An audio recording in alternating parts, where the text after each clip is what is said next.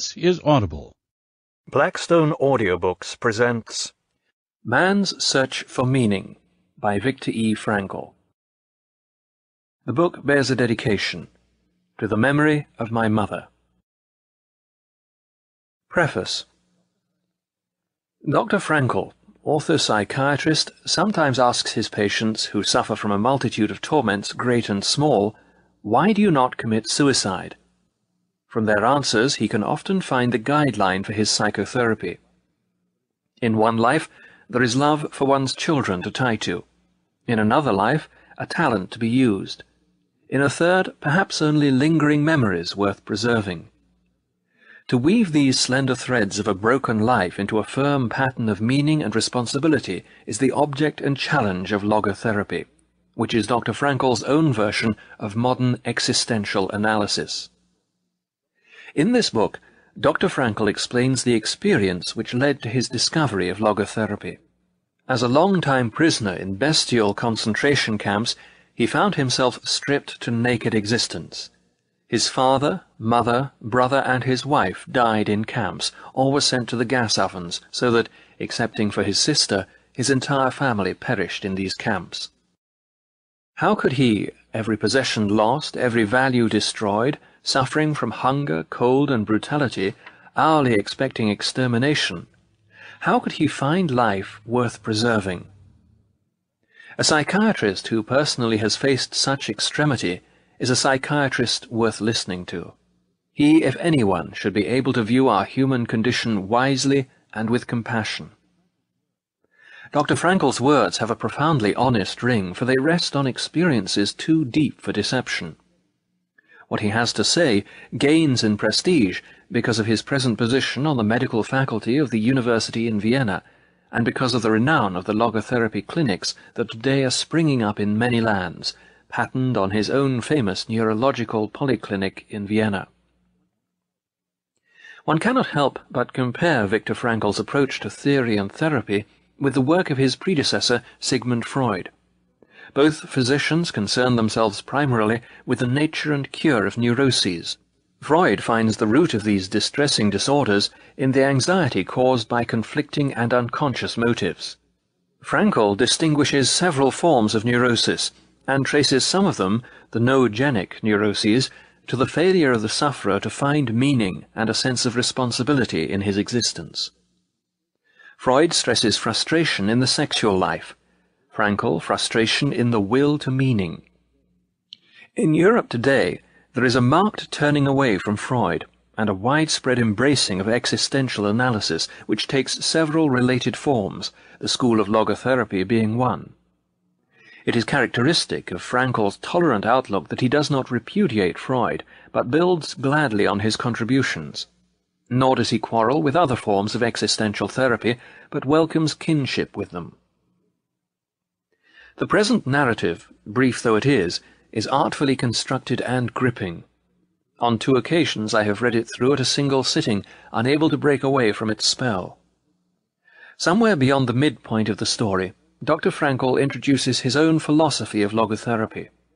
He introduces it so gently into the continuing narrative that only after finishing the book does the reader realize that here is an essay of profound depth, and not just one more brutal tale of concentration camps.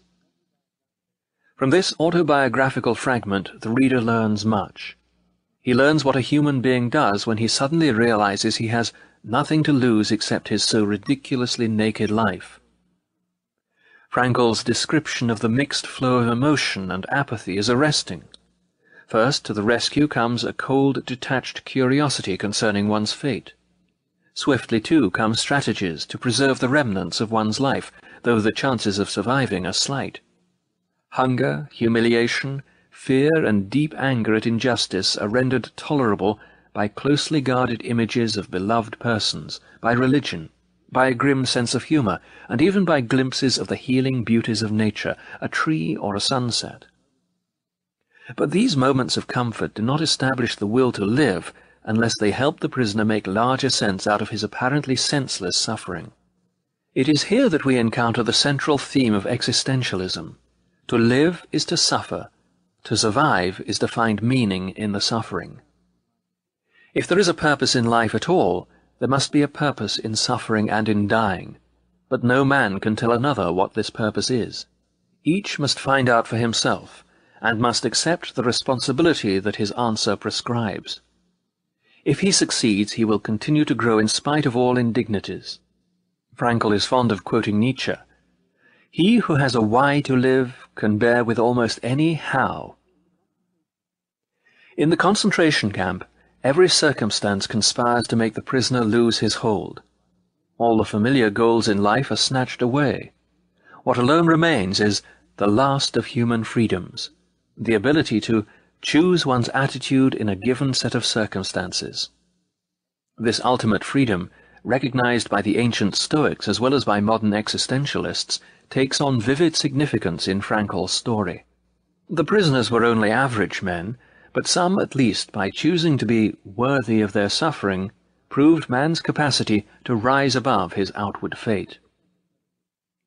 As a psychotherapist, the author, of course, wants to know how men can be helped to achieve this distinctively human capacity.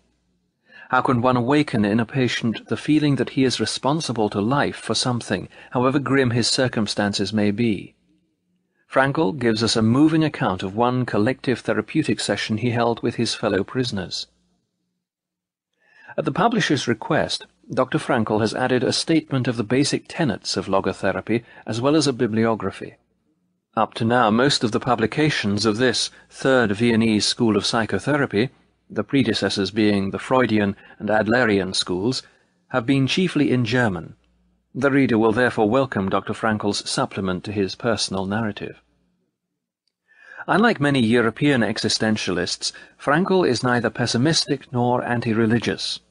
On the contrary, for a writer who faces fully the ubiquity of suffering and the forces of evil, he takes a surprisingly hopeful view of man's capacity to transcend his predicament and discover an adequate guiding truth.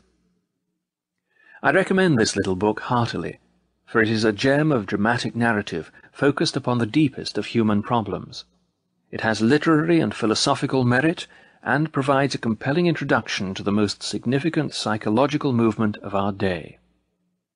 Gordon W. Allport Gordon W. Allport, formerly a professor of psychology at Harvard University, was one of the foremost writers and teachers in the field in this hemisphere. He was author of a large number of original works on psychology and was the editor of the Journal of Abnormal and Social Psychology. It is chiefly through the pioneering work of Professor Allport that Dr. Frankl's momentous theory was introduced to this country. Moreover, it is to his credit that the interest shown here in logotherapy is growing by leaps and bounds.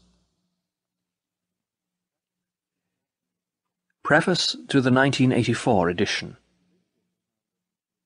This book has now lived to see its 73rd printing in English, in addition to having been published in 19 other languages, and the English editions alone have sold almost two and a half million copies. These are the dry facts, and they may well be the reason why reporters of American newspapers, and particularly of American TV stations, more often than not start their interviews after listing these facts by exclaiming, Dr. Frankl, your book has become a true bestseller. How do you feel about such a success? Whereupon I react by reporting that in the first place I do not at all see in the bestseller status of my book so much an achievement and accomplishment on my part as an expression of the misery of our time. If hundreds of thousands of people reach out for a book whose very title promises to deal with the question of a meaning to life, it must be a question that burns under their fingernails. To be sure, something else may have contributed to the impact of the book. Its second, theoretical part, logotherapy in a nutshell, boils down, as it were, to the lesson one may distill from the first part, the autobiographical account, experiences in a concentration camp. Whereas part one serves as the existential validation of my theories. Thus both parts mutually support their credibility. I had none of this in mind when I wrote the book in 1945, and I did so within nine successive days and with the firm determination that the book would be published anonymously. In fact, the first printing of the original German version does not show my name on the cover, though at the last moment, just before the book's initial publication, I did finally give in to my friends, who had urged me to let it be published with my name at least on the title page. At first, however, it had been written with the absolute conviction that, as an anonymous opus, it could never earn its author literary fame. I had wanted simply to convey to the reader by way of a concrete example that life holds a potential meaning under any conditions, even the most miserable ones. And I thought that if the point were demonstrated in a situation as extreme as that in a concentration camp, my book might gain a hearing. I therefore felt responsible for writing down what I had gone through, for I thought it might be helpful to people who are prone to despair.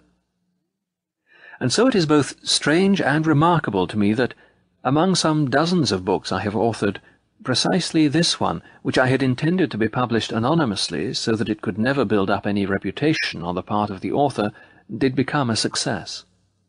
Again and again I therefore admonish my students, both in Europe and in America, don't aim at success. The more you aim at it and make it a target, the more you're going to miss it. For success, like happiness, cannot be pursued. It must ensue and it only does so as the unintended side effect of one's personal dedication to a cause greater than oneself, or as the byproduct of one's surrender to a person other than oneself. Happiness must happen, and the same holds for success. You have to let it happen by not caring about it. I want you to listen to what your conscience commands you to do, and go on to carry it out to the best of your knowledge. Then you will live to see that in the long run, in the long run, I say, success will follow you precisely because you had forgotten to think of it. Should the following text of this book, dear reader, give you a lesson to learn from Auschwitz, the foregoing text of its preface can give you a lesson to learn from an unintentional bestseller. As to this new edition, a chapter has been added in order to update the theoretical conclusions of the book drawn from a lecture I gave as the honorary president of the Third World Congress of Logotherapy in the Auditorium Maximum of Regensburg University in West Germany, June 1983, it now forms the postscript 1984 to this book, and is entitled The Case for a Tragic Optimism. The chapter addresses present-day concerns and how it is possible to say yes to life, in spite of all the tragic aspects of human existence. To hark back to its title, it is hoped that an optimism for our future may flow from the lesson learned from our tragic past. VEF, Vienna, 1983. Part 1 Experiences in a Concentration Camp This book does not claim to be an account of facts and events, but of personal experiences experiences which millions of prisoners have suffered time and again. It is the inside story of a concentration camp told by one of its survivors. This tale is not concerned with the great horrors which have already been described often enough, though less often believed, but with the multitude of small torments. In other words, it will try to answer this question. How was everyday life in a concentration camp reflected in the mind of the average prisoner? Most of the events described here did not take place in the large and famous camps, but in the small ones where most of the real extermination took place. This story is not about the suffering and death of great heroes and martyrs, nor is it about the prominent capos, prisoners who acted as trustees having special privileges, or well-known prisoners. Thus it is not so much concerned with the sufferings of the mighty, but with the sacrifices, the crucifixion, and the deaths of the great army of unknown and unrecorded victims. It was these common prisoners, who bore no distinguishing marks on their sleeves, whom the capos really despised. While these ordinary prisoners had little or nothing to eat, the capos were never hungry. In fact, many of the capos fared better in the camp than they had in their entire lives. Often they were harder on the prisoners than were the guards, and beat them more cruelly than the SS men did. These capos, of course, were chosen only from those prisoners whose characters promised to make them suitable for such procedures, and if they did not comply with what was expected of them, they were immediately demoted. They soon became much like the SS men and the camp wardens, and may be judged on a similar psychological basis. It is easy for the outsider to get the wrong conception of camp life, a conception mingled with sentiment and pity. Little does he know of the hard fight for existence which raged among the prisoners. This was an unrelenting struggle for daily bread and for life itself, for one's own sake, or for that of a good friend. Let us take the case of a transport which was officially announced to transfer a certain number of prisoners to another camp, but it was a fairly safe guess that its final destination would be the gas chambers. A selection of sick or feeble prisoners incapable of work would be sent to one of the big central camps which were fitted with gas chambers and crematoriums. The selection process was the signal for a free fight among all the prisoners, or of group against group. All that mattered was that one's own name and that of one's friend were crossed off the list of victims, though everyone knew that for each man saved, another victim had to be found. A definite number of prisoners had to go with each transport. It did not really matter which, since each of them was nothing but a number. On their admission to the camp, at least this was the method in Auschwitz, all their documents had been taken from them, together with their other possessions. Each prisoner, therefore, had had an opportunity to claim a fictitious name or profession, and for various reasons many did this. The authorities were interested only in the captives' numbers. These numbers were often tattooed on their skin, and also had to be sewn to a certain spot on the trousers, jacket, or coat. Any guard who wanted to make a charge against a prisoner just glanced at his number, and how we dreaded such glances.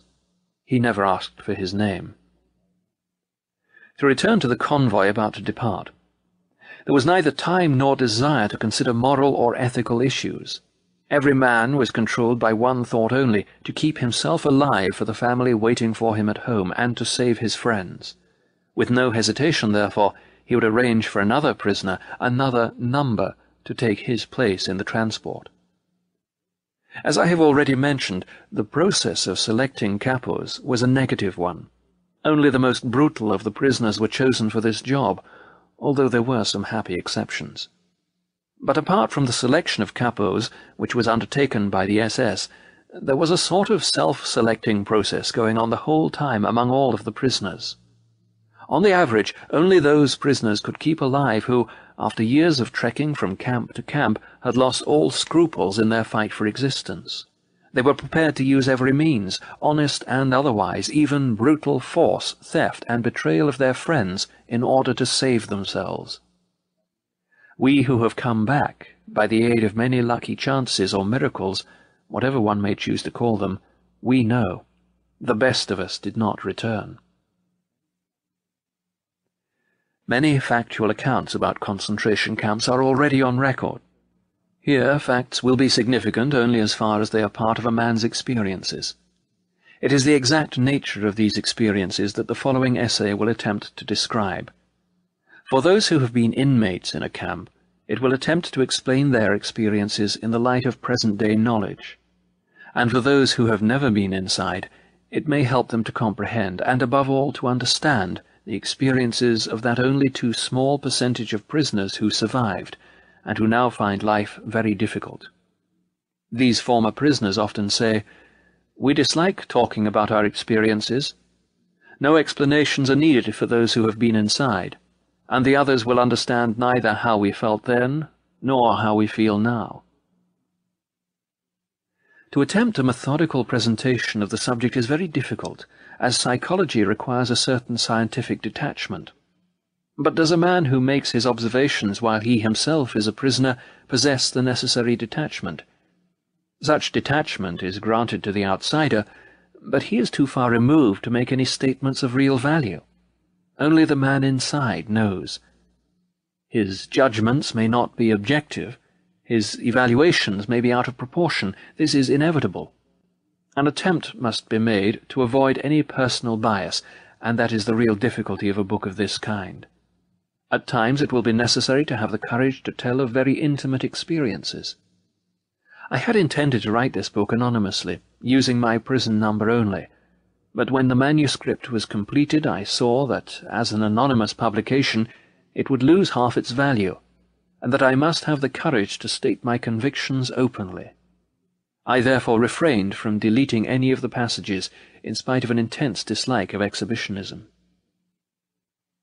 I shall leave it to others to distill the contents of this book into dry theories.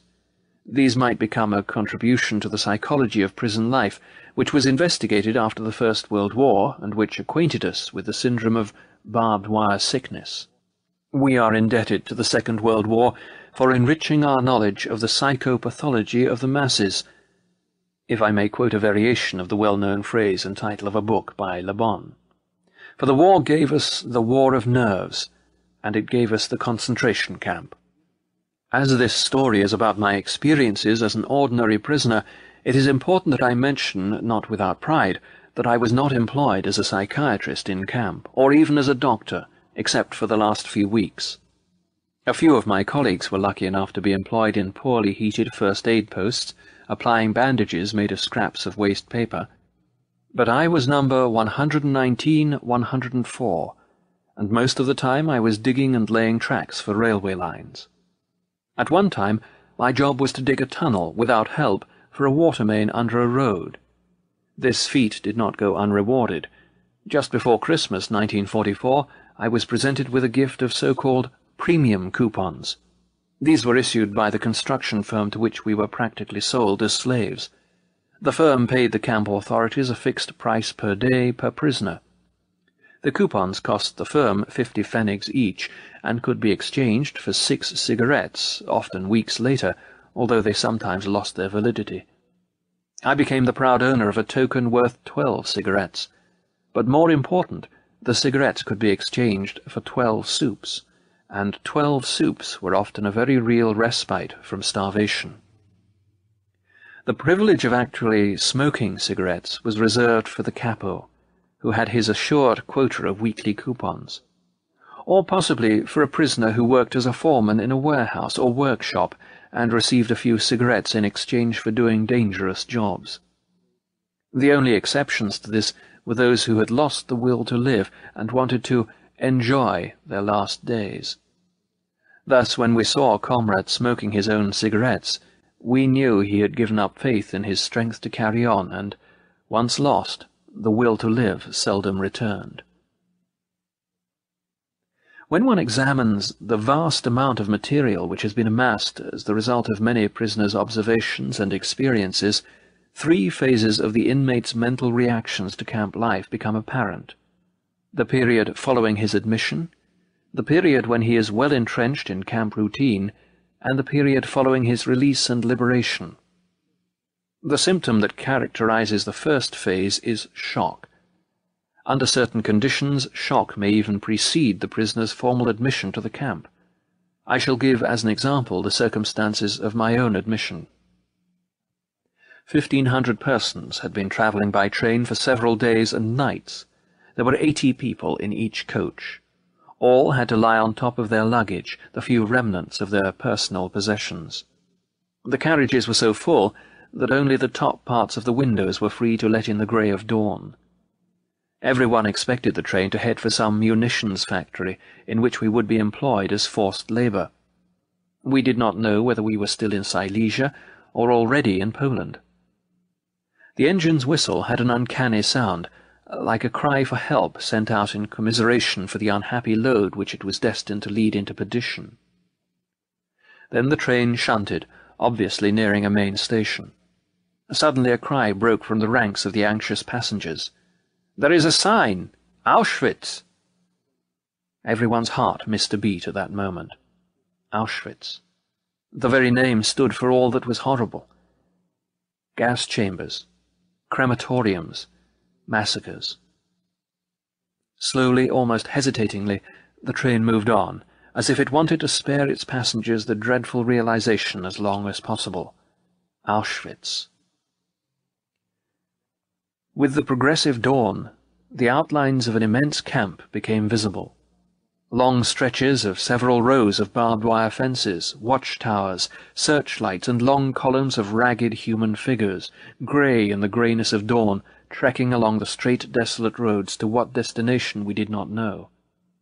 There were isolated shouts and whistles of command. We did not know their meaning. My imagination led me to see gallows with people dangling on them.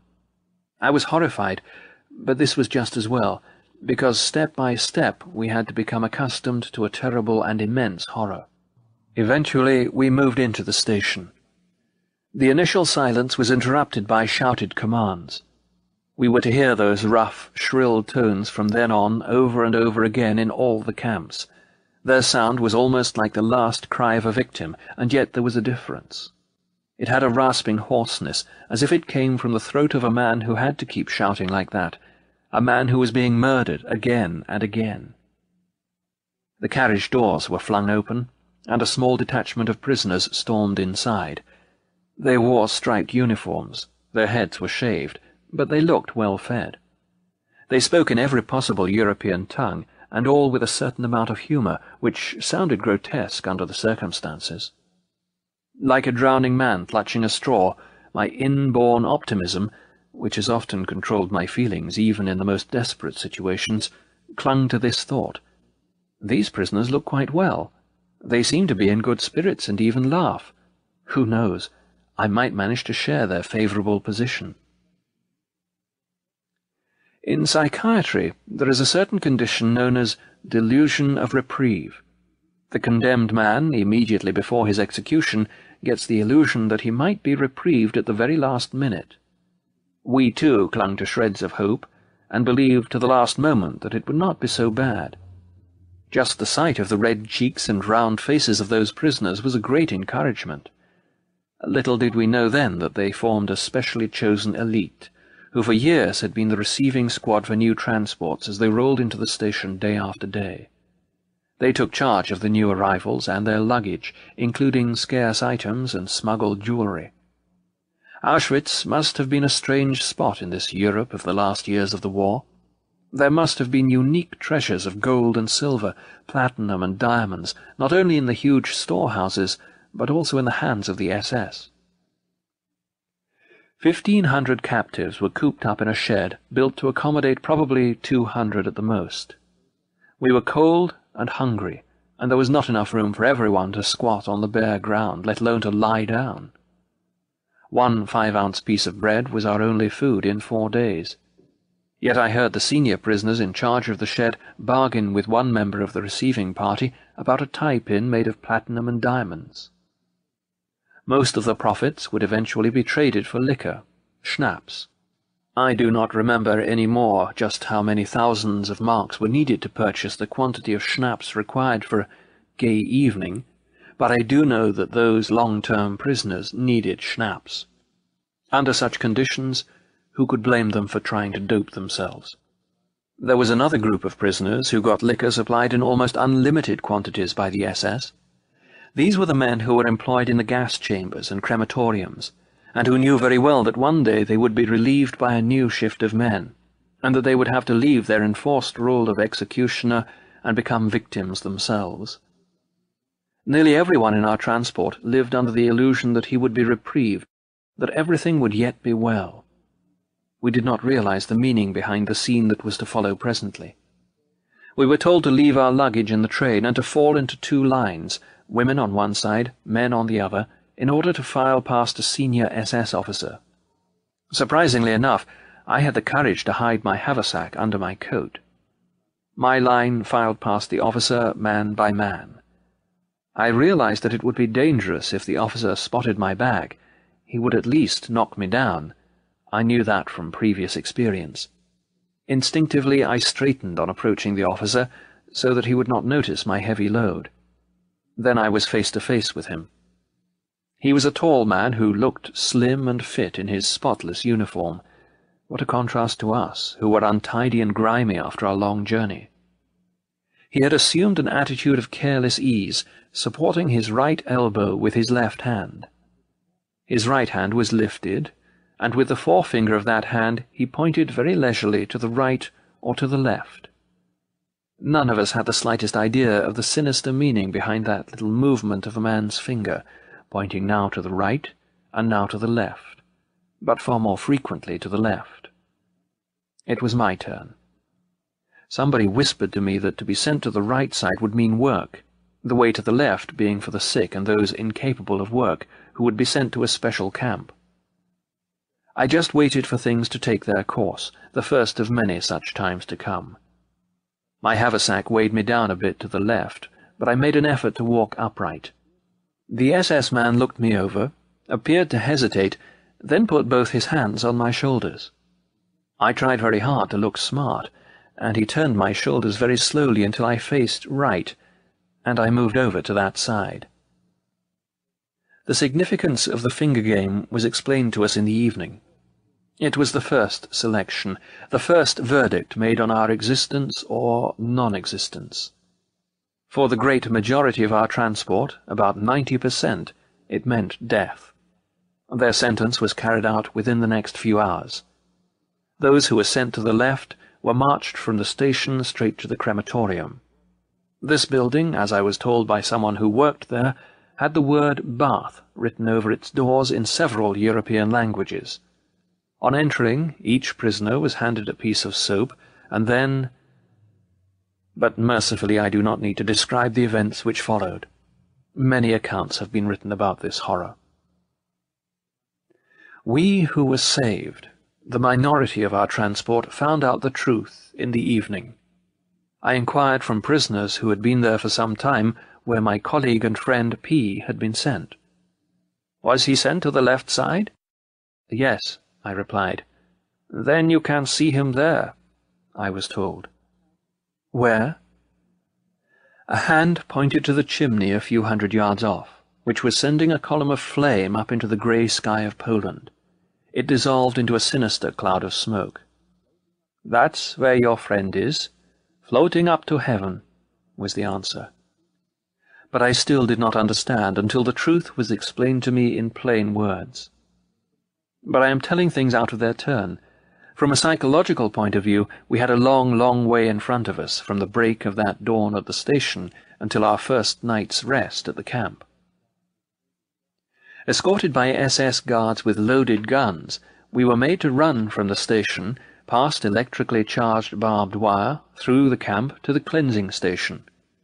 For those of us who had passed the first selection, this was a real bath. Again our illusion of reprieve found confirmation.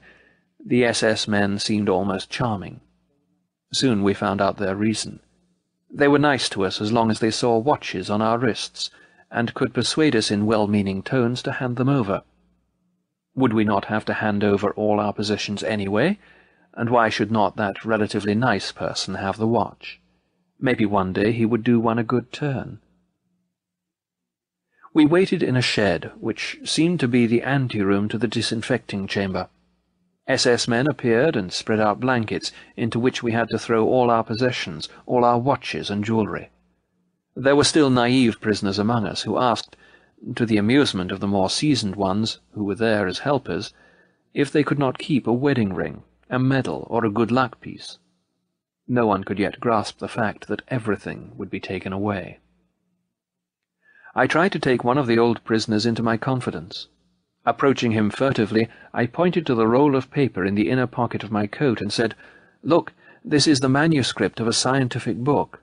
I know what you will say, that I should be grateful to escape with my life, that that should be all I can expect of fate, but I cannot help myself. I must keep this manuscript at all costs. It contains my life's work. Do you understand that? Yes, he was beginning to understand.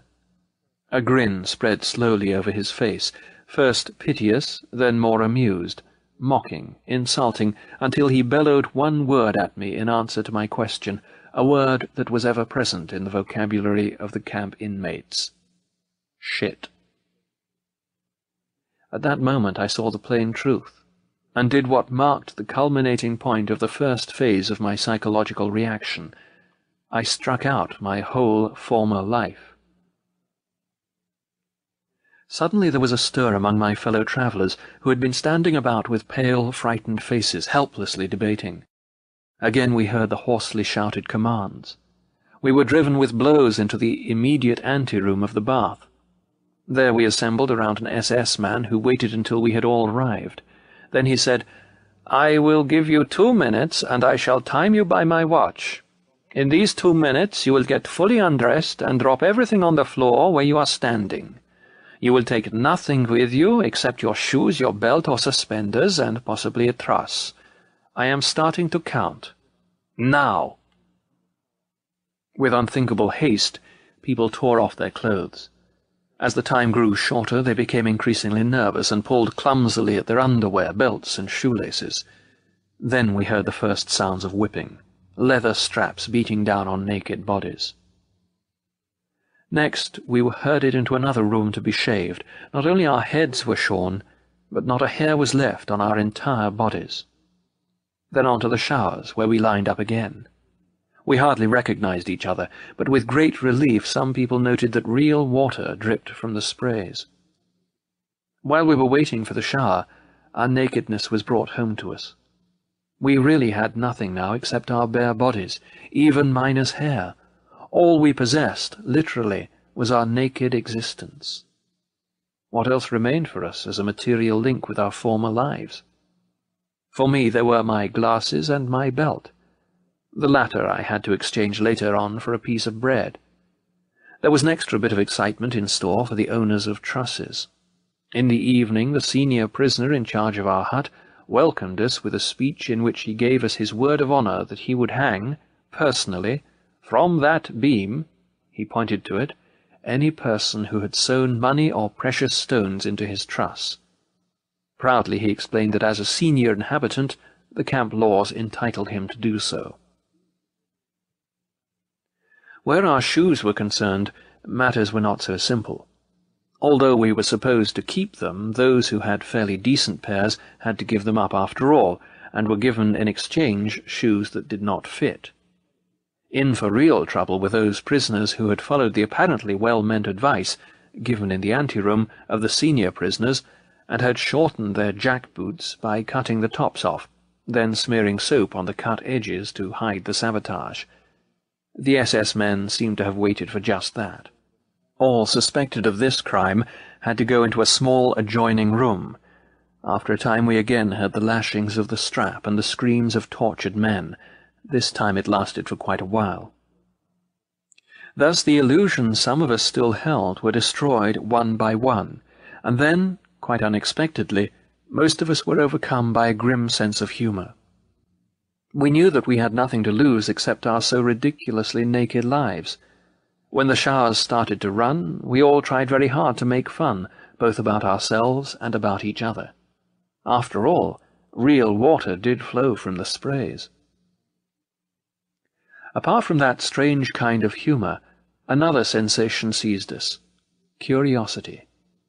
I have experienced this kind of curiosity before as a fundamental reaction towards certain strange circumstances. When my life was once endangered by a climbing accident, I felt only one sensation at the critical moment curiosity. Curiosity as to whether I should come out of it alive or with a fractured skull or some other injuries. Cold curiosity predominated even in Auschwitz, somehow detaching the mind from its surroundings, which came to be regarded with a kind of objectivity. At that time one cultivated this state of mind as a means of protection, we were anxious to know what would happen next, and what would be the consequence, for example, of our standing in the open air, in the chill of late autumn, stark naked, and still wet from the showers. In the next few days our curiosity evolved into surprise, surprise that we did not catch cold. There were many similar surprises in store for new arrivals. The medical men among us learned first of all, textbooks tell lies. Somewhere it is said that man cannot exist without sleep for more than a stated number of hours. Quite wrong. I had been convinced that there were certain things I just could not do. I could not sleep without this, or I could not live without that or the other. The first night in Auschwitz, we slept in beds which were constructed in tiers. On each tier, measuring about six and a half to eight feet, slept nine men, directly on the boards. Two blankets were shared by each nine men. We could, of course, lie only on our sides, crowded and huddled against each other, which had some advantages because of the bitter cold. Though it was forbidden to take shoes up to the bunks, some people did use them secretly as pillows, in spite of the fact that they were caked with mud. Otherwise, one's head had to rest on the crook of an almost dislocated arm. And yet sleep came, and brought oblivion and relief from pain for a few hours. I would like to mention a few similar surprises on how much we could endure. We were unable to clean our teeth, and yet in spite of that, and a severe vitamin deficiency, we had healthier gums than ever before. We had to wear the same shirts for half a year, until they had lost all appearance of being shirts.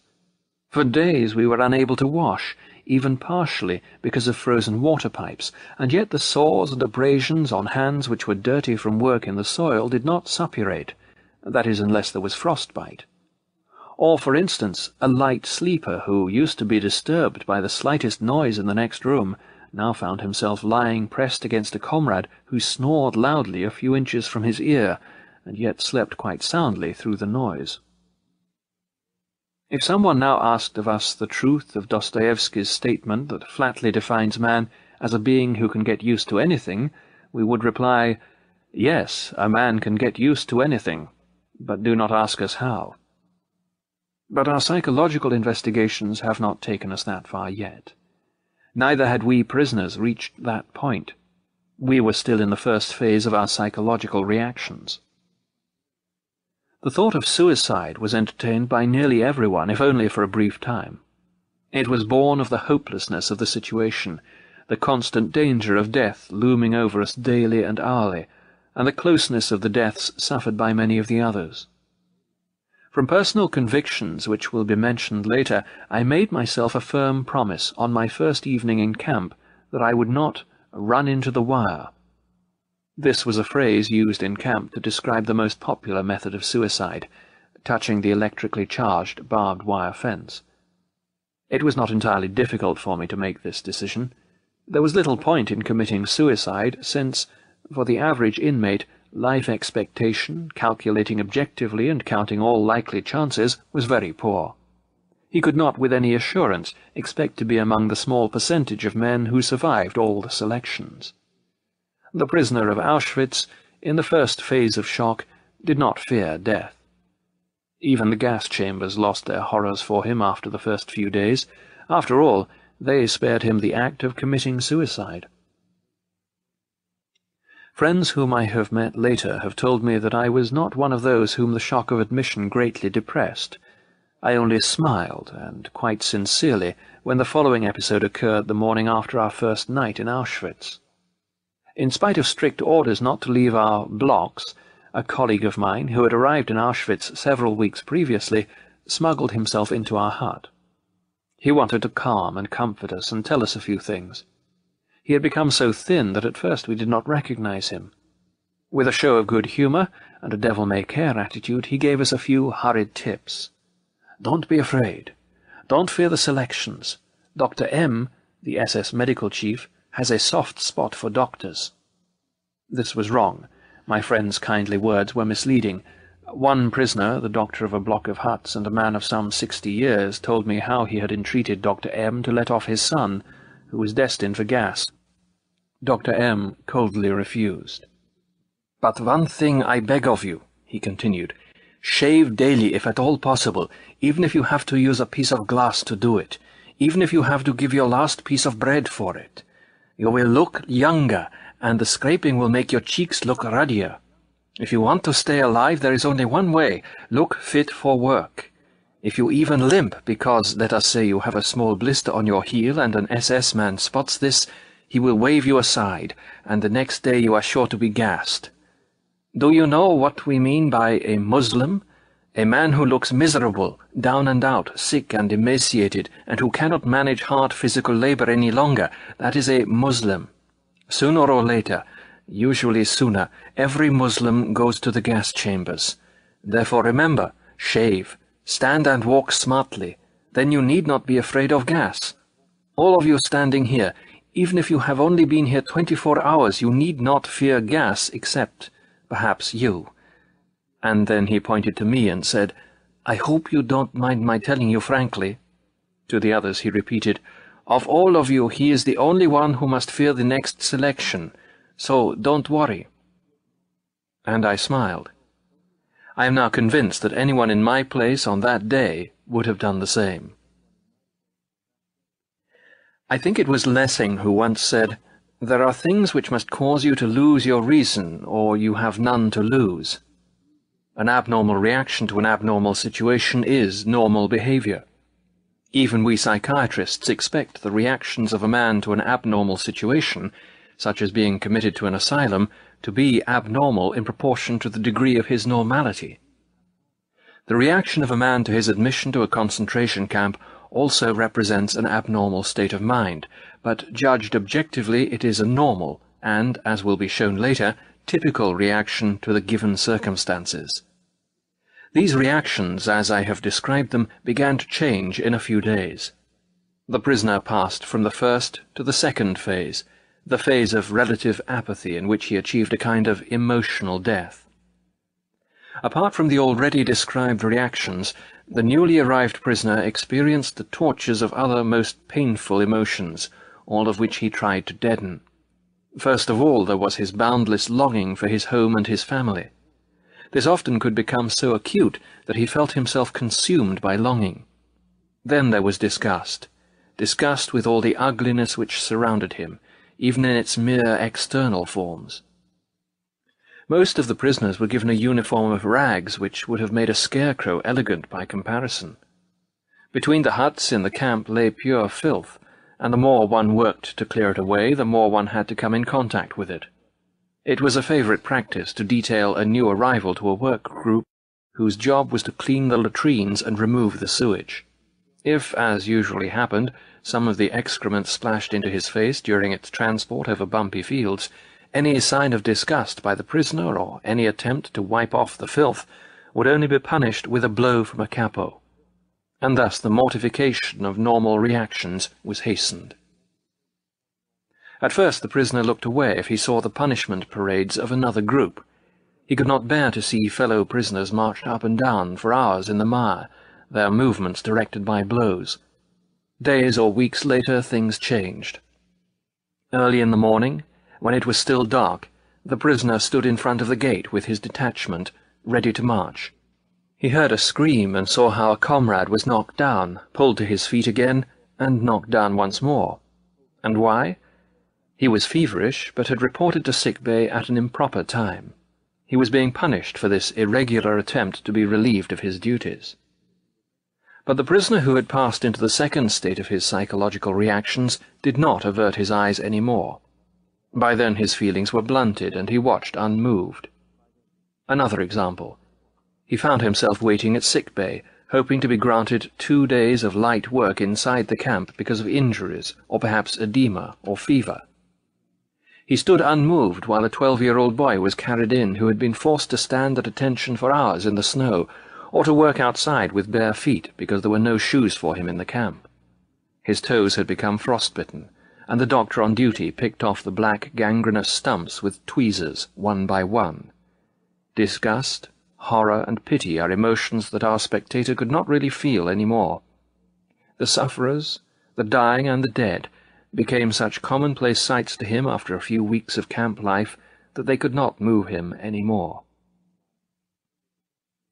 I spent some time in a hut for typhus patients who ran very high temperatures and were often delirious, many of them moribund. After one of them had just died, I watched, without any emotional upset, the scene that followed, which was repeated over and over again with each death.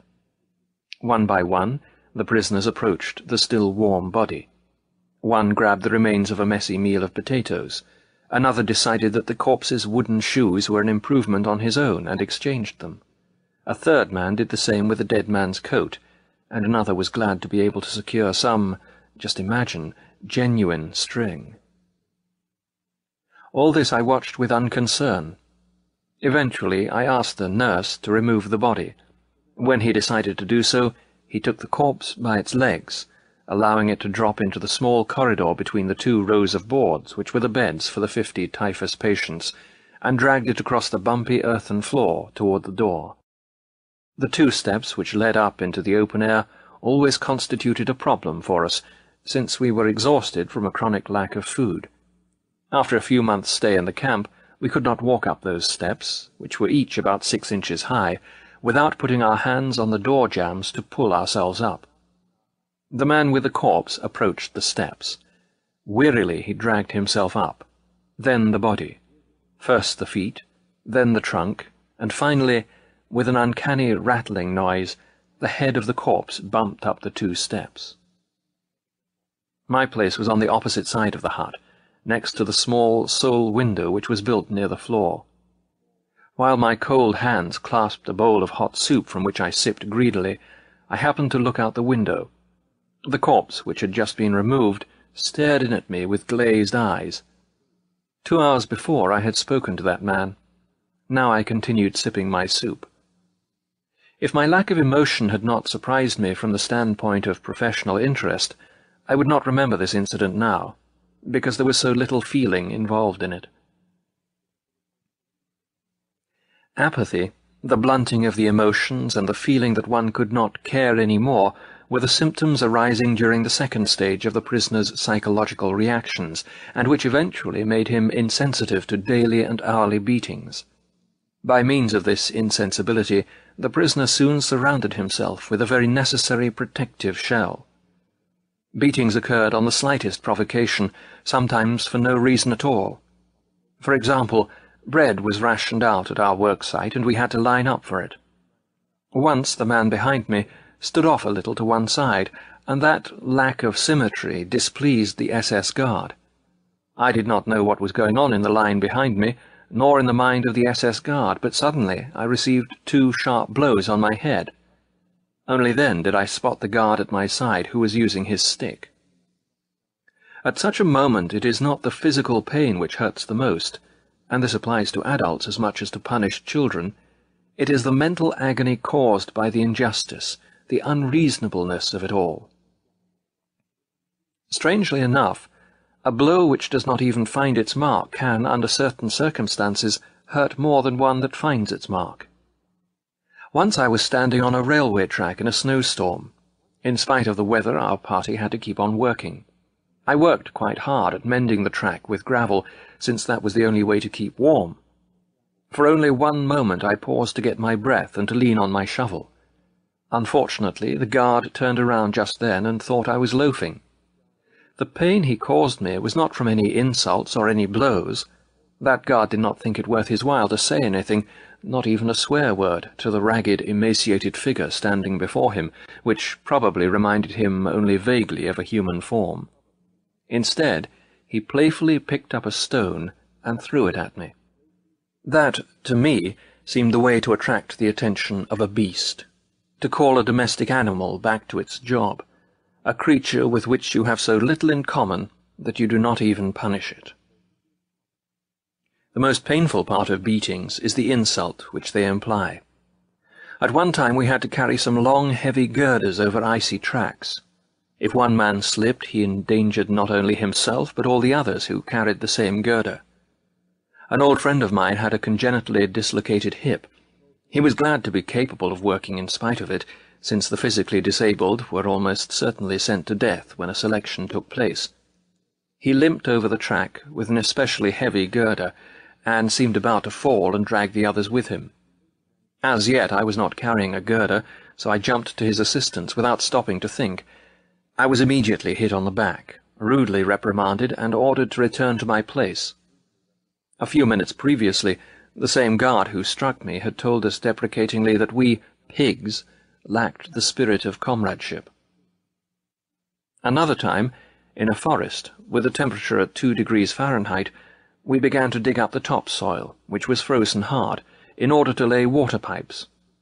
By then I had grown rather weak physically. Along came a foreman with chubby, rosy cheeks. His face definitely reminded me of a pig's head. I noticed that he wore lovely, warm gloves in that bitter cold. For a time he watched me silently. I felt that trouble was brewing, for in front of me lay the mound of earth which showed exactly how much I had dug. Then he began. You pig! I have been watching you the whole time. I'll teach you to work yet. Wait till you dig dirt with your teeth. You'll die like an animal. In two days I'll finish you off. You've never done a stroke of work in your life. What were you, swine? A businessman?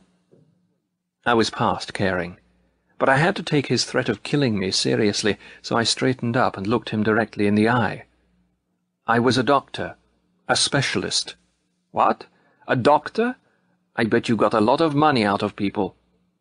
As it happens, I did most of my work for no money at all in clinics for the poor. But now I had said too much. He threw himself on me and knocked me down, shouting like a madman. I can no longer remember what he shouted. I want to show with this apparently trivial story that there are moments when indignation can rouse even a seemingly hardened prisoner. Indignation not about cruelty or pain, but about the insult connected with it. That time blood rushed to my head because I had to listen to a man judge my life who had so little idea of it.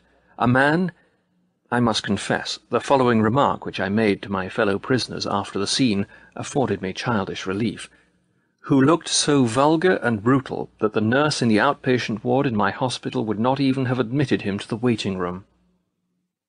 Fortunately, the capo in my working party was obligated to me. He had taken a liking to me because I listened to his love stories and matrimonial troubles, which he poured out during the long marches to our work site. I had made an impression on him with my diagnosis of his character and with my psychotherapeutic advice.